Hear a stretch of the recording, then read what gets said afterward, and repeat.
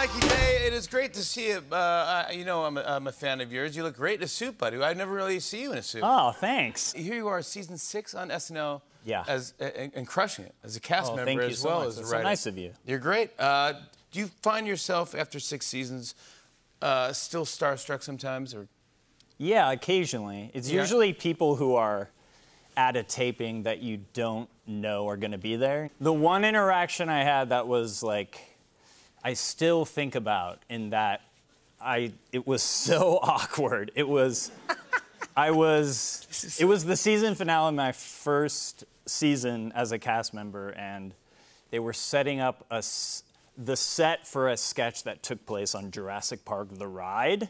Yeah. And I played someone who worked on the ride, so I had a khaki shirt with the Jurassic Park logo on it. Yeah. And I'm just standing there and I hear someone say, "Hey, I know that." And I look and it's Steven Spielberg who like I grew up a Spielberg kid. I mean, so instrumental in my uh, upbringing. So to go from zero to Steven Spielberg is you're like, yeah?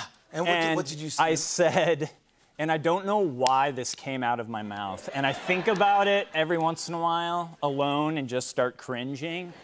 He goes, I know that, and is pointing at the logo, and I said, yeah, the sketch doesn't take place in the actual park, it takes place on the ride. Why? Dude, dude, wow.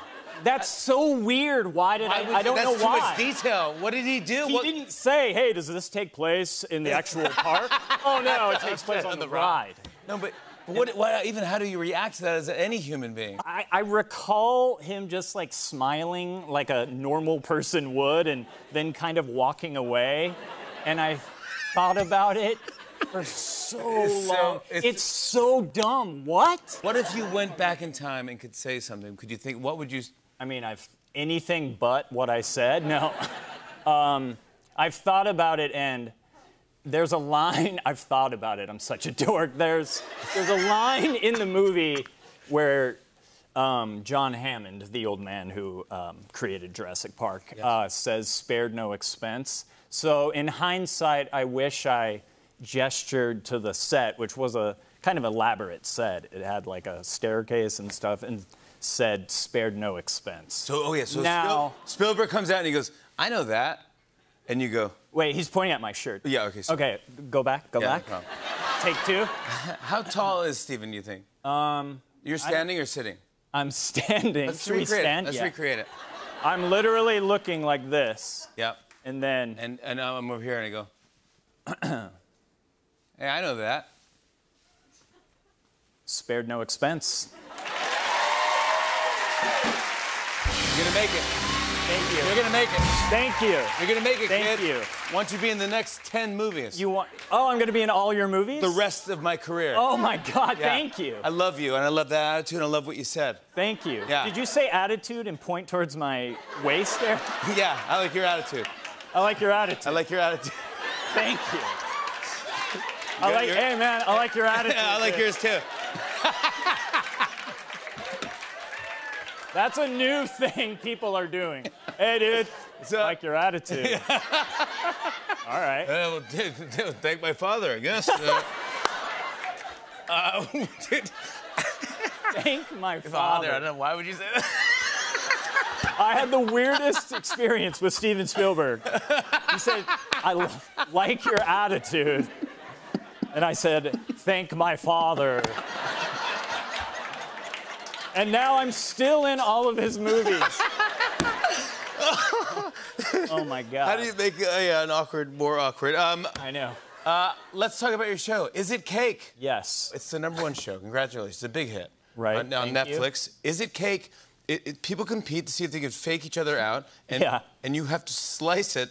You're the deciding judge. You go, is it Is it cake? cake? Yeah. And if, it, if it's It's really complicated. Well, here's why I would say you could argue that it could be a little nerve wracking Mm-hmm. because if you mess up the slice of the cake, it's not like you have 10 of these cakes. It's very Right. pretty elaborate cakes. Right, these bakers who are very talented bake it for like eight hours, I think. So they want the cut to be right. So I have like an earpiece, and they're like, "All right, here comes the cut." Hey, here comes the Um, cut. Drum roll. and then you just have to like slice it right and like wedge it out. They're like, "This is a standard cut and wedge, bud. You just want to cut it, wedge But it now out." are you you're an expert at cake cutting. I mean, I'd think so, but I got like a random message on Instagram that's like, "You cut cake like an eight-year-old." All right, and you go. I'm like, well, that's the, all I have to do, and I've messed that up. remains champion. It's, the internet undefeated. remains champion. Yeah, yeah, undefeated. I want to show everyone a clip. Here's Mikey Day hosting Is It Cake? Take a look at this. Is it cake? Just seeing where I want to slice this here. No! Ah, are you ah! kidding? That's a conch. It's a conch. Andrew, it's not cake. You did it, buddy. You fooled the judges. You're up for the win. Thank you guys. Thank you, thank you, thank you. Kelly thought it was five. Let's see. I don't want to hear any noise. Let's find out if this is cake.